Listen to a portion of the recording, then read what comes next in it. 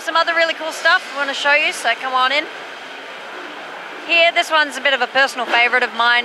It's a little bit like uh, having a favorite child. I know you're not supposed to say it, but everyone has one. And I think this is mine.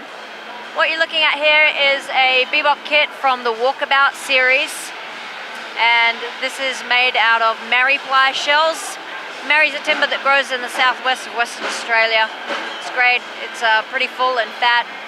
Despite its very, very small size, the sound uh, the sound is quite thunderous and is much bigger than it, than it really, than, than you would be led to believe. Now what you're looking at on the outside veneer here is uh, a limited edition Cervantes finish.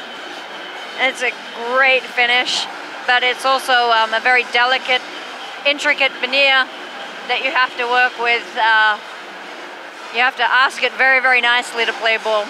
So it takes a lot of love and a lot of care to actually take uh, a timber like this with a feather pattern and get it to, to turn itself into a shell.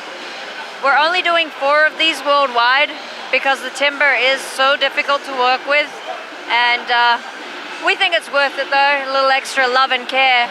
But uh, and it looks amazing, but more importantly, it sounds amazing. So let's give this one a listen.